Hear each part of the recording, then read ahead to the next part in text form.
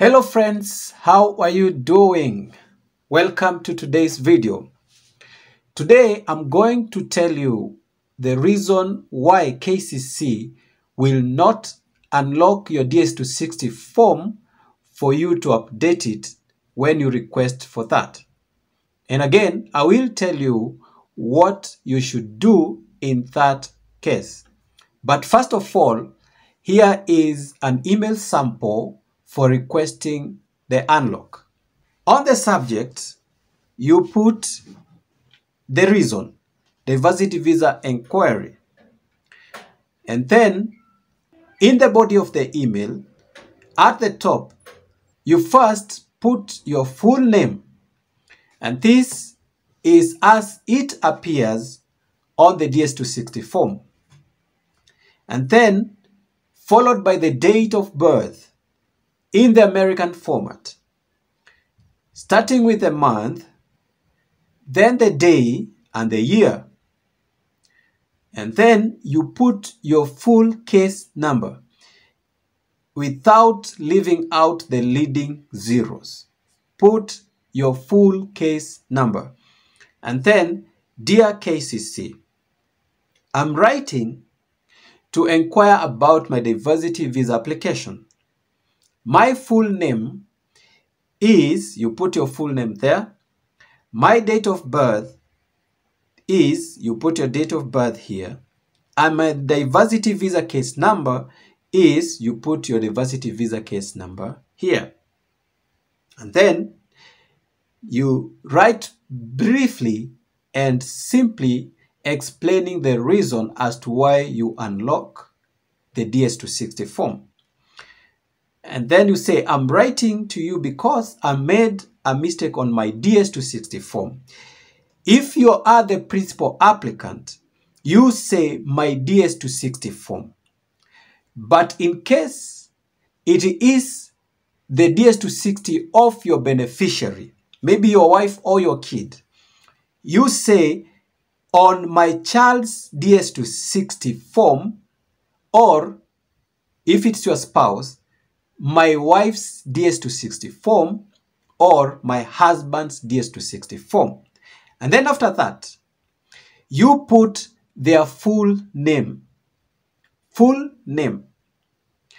And then you give the reason as to why you want it unlocked.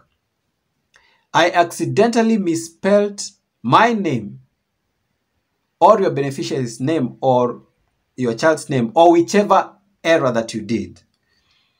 I have attached a copy of my passport for the correct name. You simply give that information. And then that is that about the email.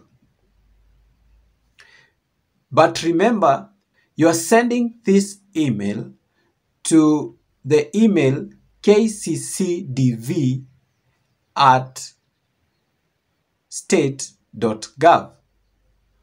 That is the email for KCC, and that is the email to send to.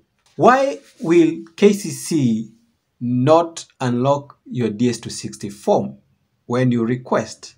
The only time when KCC will not unlock your DS260 form is after your case has become current and they have transferred your details to the embassy. At that point, your information or your DS260 form is not under their authority, is not with them. And therefore, they can't access it to unlock it for you for the update. And in that regard, they will send an email response back to you telling you that the, your DS260 form is not under the authority to unlock it. And they will tell you you can write to your embassy and request them to unlock for you to do the update. So that is the only time when they are not able to unlock it for you. At any other time, your DS260 is under their authority, they will not hesitate to unlock it for you. But remember this that once you write to KCC to request the unlock, sometimes it might take some delay, especially during peak days. If they are busy, it might take some time. It normally takes between one day and around two weeks for them to respond to your email request. So when you send that request, you need to be patient. They might open it in a day's time or in two days time or in a week's time or in a fortnight's time or it might even sometimes take sometimes longer. But you need to be patient. Now, what are you supposed to do if KCC can't unlock your DS260 form and they have requested you that you need to contact your embassy for that? So what you need to do is to write the same email to your embassy requesting them to unlock it for you.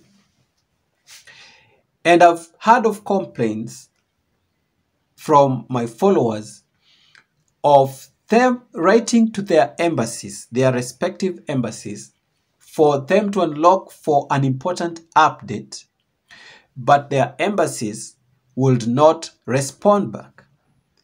There might be a reason. Maybe you might have used a wrong email. Sometimes you might write to them and they are busy or that email is not active. So the first thing you need to do is to find the correct email that handles such cases, the diversity visa cases. You get the correct email and use the correct email. And there's no reason as to why they won't communicate back to you after you've sent them that request. They must respond to you if you have used the correct channel. So ensure you get the correct channel. And ensure that you explain your information well. Why you want them to unlock your DS260 form. You must give a brief explanation to your embassy for them to do that. In the case they are not responding, also find the direct contact,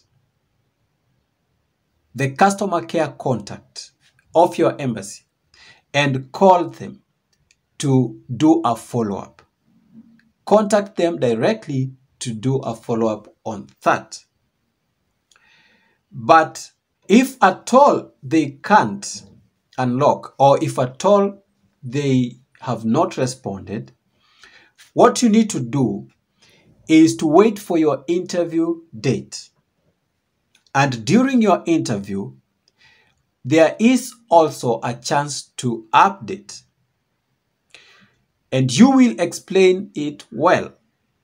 On that first desk where you submit your documents, that is your proof documents at the interview, and let them do the necessary update on your case. You need to tell them that you sent the email. Also, print the proof of that email have the printed proof of the email that you tried to reach out to the embassy but they could not respond. And again, explain yourself well, let them update it before you move to the other desk where the exact interview is done. So guys, I think I've handled just about everything that I needed to handle in this video but there might be something that I've not touched on. If you realize that, please don't fail to write a comment and include that question. I will come back and answer that question. So thank you guys for sticking around. Get informed.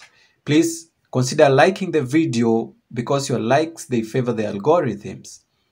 And also subscribe to the channel if you have not. And if you can support the channel, please do it. Let's meet in the next video.